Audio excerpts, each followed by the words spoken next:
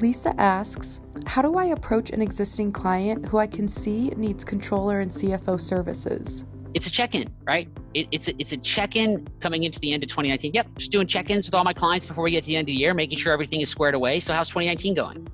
Simple. And then go through the script. Go through the script in detail, follow it every single step. So, that's what you say. And then you also go through, do the script, transition it simply like that. End of the year check in, end of the year check in, just a process just a process.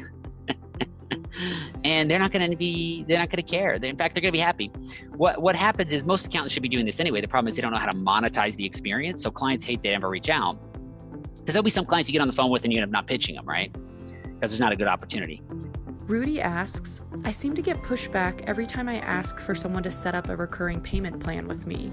How can I solve this problem? So, what I do, uh, Rudy, is people sign agreements, DocuSign agreements with the ACH information in there. So the engagement letter has the ACH information in there, and then you just put it in the ACH immediately. So it goes in the same day. Now, it might not process for a day or two the way ACH works, but for them, it'll process the very next day. So if you you should put the you should have a, a, an agreement signed before the call is over. And that agreement should include the ACH details, and that should bill immediately. So that's what I would say to do in that case. Ashley asks, how do I stay motivated and driven during the slow times in my business? You've got to look at the bigger picture of your life. Like, there's two things, right? One, I would look at the bigger picture. And then the second thing I would do is freaking fight like hell. Fight like hell. Like, what can we do to get this fixed today? Like, who can we call back today? And I'm going to tell you a story. I had a guy,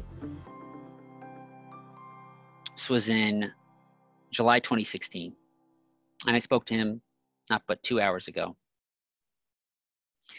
And he signed up to work with me, right? And he basically said at that time, you know, like it was back when I had, you know, a lot less confident and whatnot. He he basically at the end of the period of us working together asked for his money back.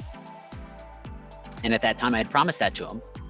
And so I had also helped this guy a lot, tremendously helped him, right?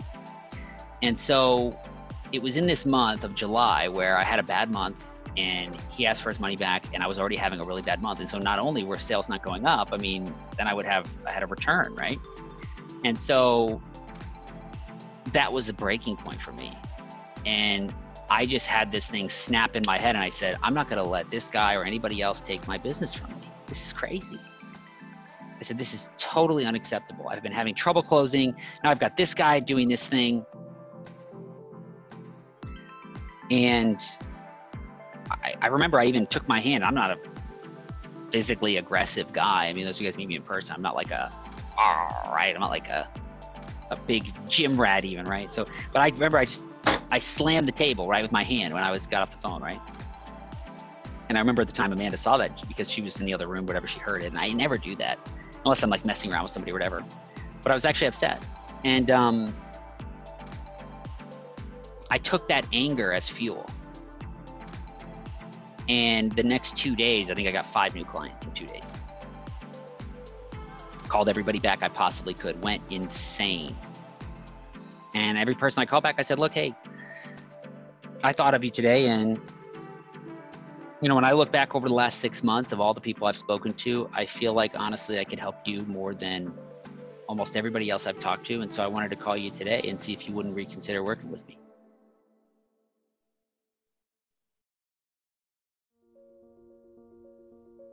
Signed up five people in two days. That guy that asked for that return, six months later, he called me, apologized offered to pay for that thing again. And came back in. Now, two years later, I talked to him three hours ago. He's one of the top clients in the history of this business in terms of his results and in terms of, you know, also his investment with us, right? So the point in that story is that you want to take adversity as fuel. Okay. So when something bad happens, you need to figure out a way to turn it into the best story you have. I, I first learned how to do this. There was a guy, Dave Ramsey, many of you guys heard of him, right? So he was bankrupt when he was 26. Now he has a company that does like 150 million a year in sales, built on that story. Built on the fact that he went bankrupt at age 26. He helps people get out of debt. And so, you know, that's that's the way to turn your greatest weakness in life into a strength. Most people just let these things cripple them, be it a bad month in sales or bankruptcy or whatever. And how do you take your greatest weakness and turn it into your greatest strength and the, the, the core of what it is that you do? Now, obviously you had a bad sales month, right? So does that need to like, oh my gosh, now I need to like make this the story of my entire life? No, because it's not that big of a problem. But you need to get crazy and you need to figure out a way to get crazy. And you need to get out of figure out a way to get on the phone. And and you know, if you've got access to this deck and you're not using it, and that's your biggest problem is selling, got to do it. You've had it for a while now. Got to do it, and you got to do it today.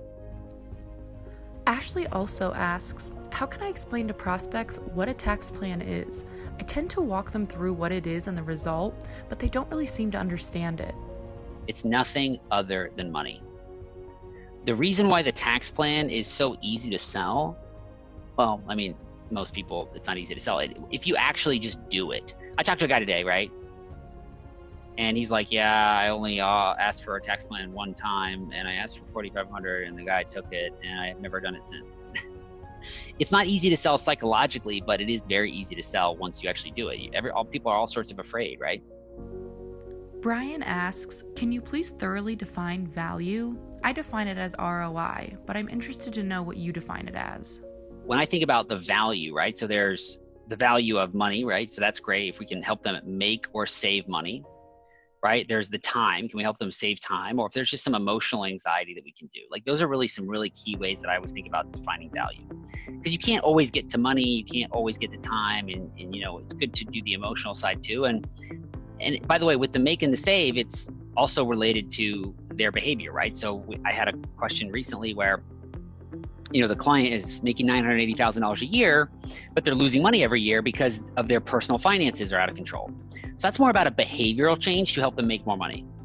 So and there's all sorts of things there accountability and so on. So if you can make somebody a lot of money if you can save them a lot of money if you can save them a lot of time if you can reduce emotional anxiety of something that they're doing all of those things can be used. And actually, I've got a training talks about it's a process called value extraction, where I actually put together a spreadsheet where I go through and show you how to map out time, money, emotion, and how to quantify those to create an idea of how much value you're providing to the client.